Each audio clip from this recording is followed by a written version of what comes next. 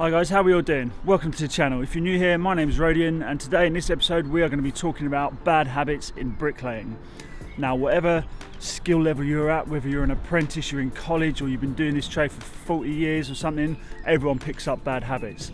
Now the habits we're going to talk about today, I admit I have I've been guilty of doing all of them. Now I've said this before on this channel, a wise man is a man who learns from other people's mistakes and a foolish man is someone who learns from his own. So hopefully this video will help you guys be the wise men and I could be the foolish man because I'm openly admitting to have, have had all of these bad habits in the past. Right, let's get straight into it and go to the first bad habit.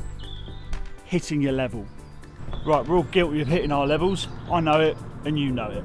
The thing is, there are two ways you tap your level. One is with the sharp side of the trowel. That is not something you should do. You can you damage your level, you dent it. There's also a chance you could knock the vials out of uh, plums so that they don't read true. Now these levels are built to withstand a bit of a battering, but don't whack them with that. You will only shorten the lifespan of it. The other end is use the bottom end, the heel of your trowel to tap the level over. Now, when you do this, we all do it. It's the easier way of doing it. If you have to hit it more than two or three times to get it plumb, either your brickwork is miles out or get a bit of wood and hit it. Don't whack your level super hard. Again, these are built to withstand damage, but you'll only reduce the lifespan of your level. Now, one of these I had when I was an apprentice, the one with blue paint on it, and this one is the one I've had since that one. Basically, I'll show you the difference. Right, now aside from being a bit dirty, the one on the left with the blue paint on it, you can see it's got loads and loads of scratches and dents on it. That is because I was in the bad habit of whacking the level with the sharp side of my trowel.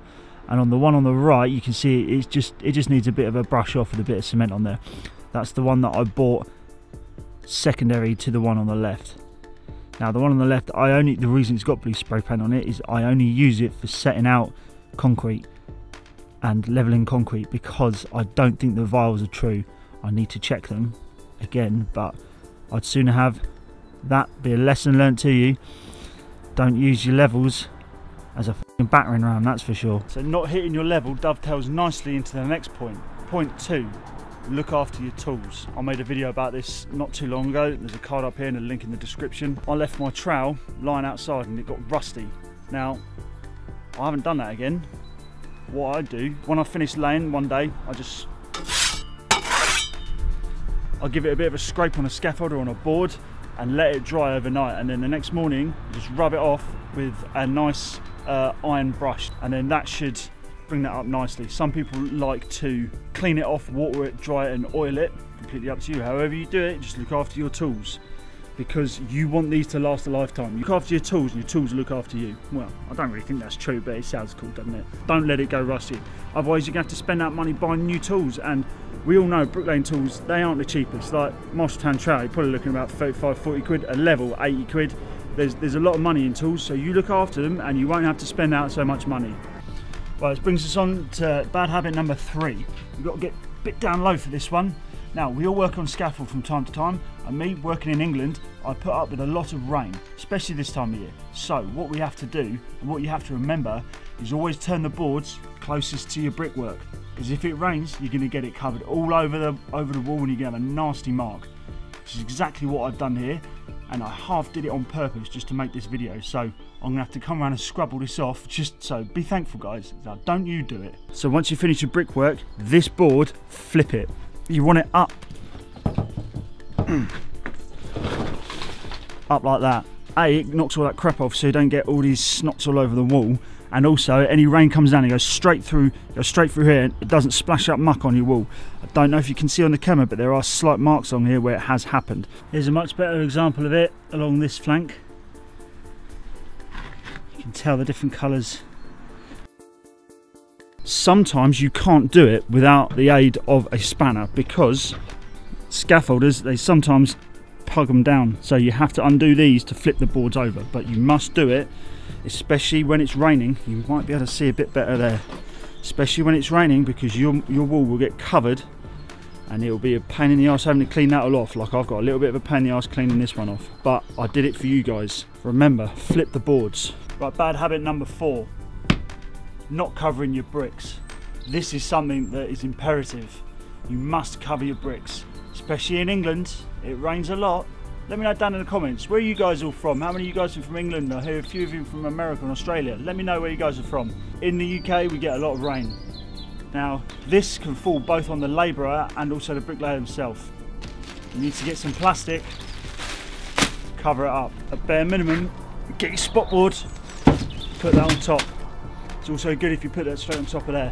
If you can't have any of these two and get the labourer's rainproof coat, stick that on there. That'll teach them a lesson. Or failing that, if you're on your own, tut tut tut, put your own coat on it. You don't want sod sodden bricks when you're laying them. They swim all over the place. You get smudges, the, the muck comes out, drips down the wall, you don't want to lay wet bricks. Now the only exception is stocks. A lot of the time they are super dry, you have to wet them down before you use them, but you should always cover them up first. Right, that brings us on, next tip. Next tip, next bad habit, not a tip. These ain't tips, don't take these as tips. They're not tips. Tips on not what on not what to do, tips on what not to do. Oh, tongue twister there for you. Bad habit number five. I can't stress this one enough. Always use PPE when cutting bricks, cutting blocks, or using any sort of machinery like a grinder or a reciprocating saw, a chop saw, anything like that. Use PPE. Goggles, a dust mask, respirator, earmuffs, and I like to use gloves as well. In the very worst case scenario, if you don't have all of these, please just at bare minimum have goggles. These aren't the most ideal ones, but they're the only ones I've got at the moment. I've had brick in my eye before through complete negligence of wearing PPE. Yeah, I had to go to hospital. It was not a fun experience. So please, again, wise man, foolish man, be the wise men and women, wear PPE. Right, we have bad habit number six.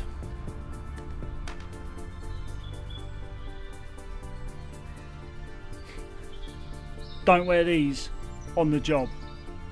You need a pair of boots. Kind of mirrors, goes on the PPE one I said a minute ago with cutting, but don't wear trainers on the building site. With this house I'm building back here, the second week of starting work here, I was wearing these exact trainers. I stood on a four inch nail, went straight into my foot. It blew up like a balloon, had to go to hospital, have all the jabs, do all that stuff. Again, not a very pretty sight. So, if you don't have any boots, get yourself a pair of boots. If you don't like boots, Get safety trainers. I've got a pair of those that look like Converse, dead comfy, perfect for the summer. But get yourself some boots, please do. You don't want to be hobbling around with one eye. One eye because of the grinder, hobbling because of the boot, yeah, you get it. Why does one toe always seem to wear down a lot quicker than the other ones? Let me know in the comments. Does this happen to you guys? Well, this is bad habit number seven. This is what I like to call playing the banjo. So when you're laying to a line, and every time you butter a brick, especially if they're already laid, every time you put a brick down, you keep hitting the, the line. It's like playing a guitar, playing a banjo. This is something I used to do when I was an apprentice, and it did not take me long to unlearn it, to get this wind right out of me. The geezer I used to work with, every time I did it, he used to either throw a brick at me or put muck in my rigger boots. I reckon after a week, I, I ain't done it since. It's not so much a bad problem if you're working on your own, if you're doing a lot of site work or working with other people or working with people you don't know very well. Some people can be temperamental when that, when that line starts going. Don't be surprised if you get a brick thrown at you. It's happened to me before, so I'm sure it's happened to some of you guys. Let me know. Yeah, number seven, don't play the banjo all day long. There we go guys, there's seven bad habits in bricklaying. Let me know down in the comments which one you guys are guilty of, because tell me, you guys are guilty of a few of them, I know I am, hands up to it. Also, which ones have I been missing? All the tools and PPE that I've talked about in this episode are linked down in the description. Now they are Amazon affiliate links, so if you do decide to purchase through them, it goes towards helping me out on this channel at no cost to you guys. I also try and strive to find the best prices for anything. All that being said, leave a like down below, subscribe, and I'll see you guys in the next video.